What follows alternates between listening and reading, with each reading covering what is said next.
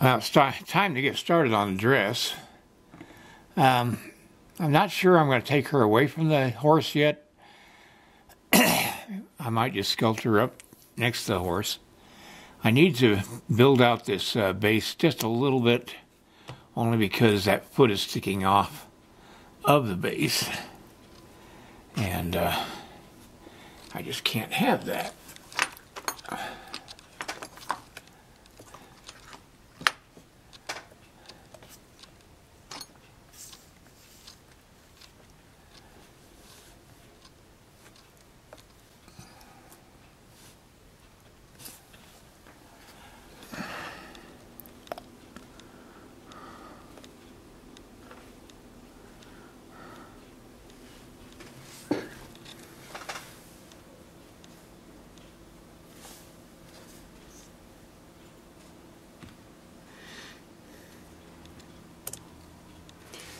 I may have to uh, separate her feet, or separate her from the uh, horse's base, only because I need to work on the inside of uh, her leggings. But I'm going to wait till I see how much of the leggings are going to show after I put the dress on.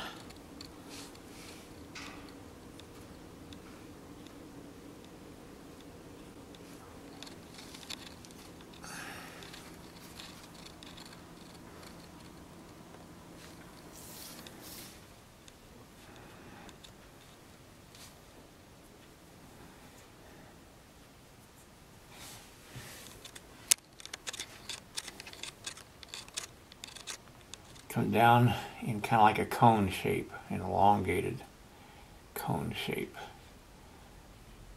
Because that's the way fabric hangs. They hang in cone shapes.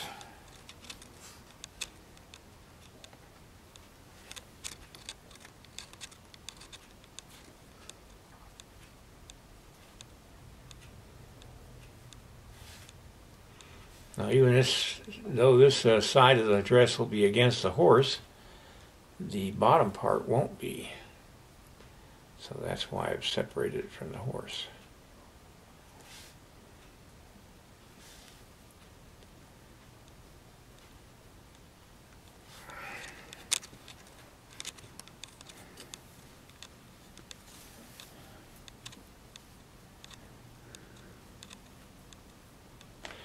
Well, as you can see, I've removed uh, her from the horse so I can work on the dress a little bit more easily. The back of the dress is just as important as the front of the dress, especially since it's uh, got a lot of detail in it too. Um, even though this dress will more than likely be up against a horse, the bottom of the dress is going to show up and also the bottom of the feet. So I need to work on both. That's uh, about what I did today was just add clay to her torso uh, from the uh, waist down. Added a belt, which I'm going to take off and redo because I'm not happy with that one. But it gives me a, an idea of where the uh, belt line would be in the clay. I put some texture in the clay uh, just so I can see the shape. Uh, I'll keep that texture in there because I like the sculptural quality of that in the clay. You don't want everything to be smooth, at least I don't. Some people like that, but I'm not one of them. I like texture.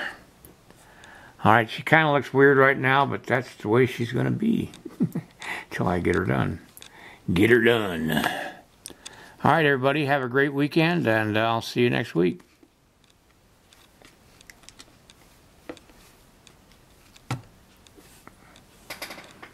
It was a good day of creating. Give me a thumbs up and share my video. And then check out my instructional DVDs, uh, the link down below this video. All right, see you next time.